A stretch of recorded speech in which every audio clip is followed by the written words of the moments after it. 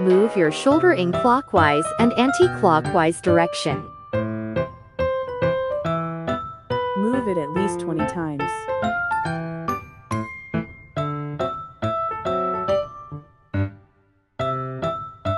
Now touch your toes with alternate hands.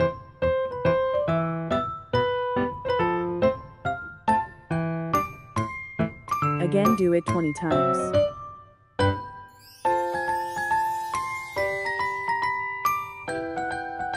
Now bend sideways.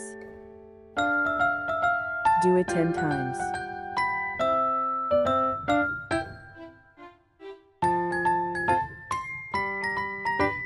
Now move your hips in clockwise and counterclockwise direction.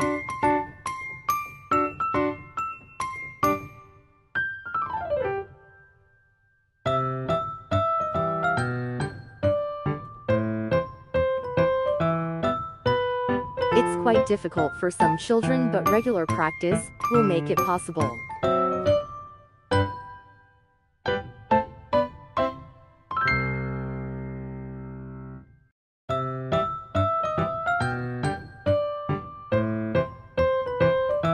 Adductor stretch is also quite difficult but very good for flexibility and makes legs strong. Will wall support with the support of wall move your legs up and head down.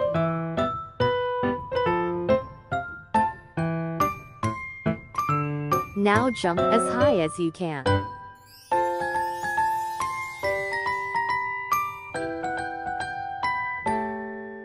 This stretch is very good for improving spine flexibility.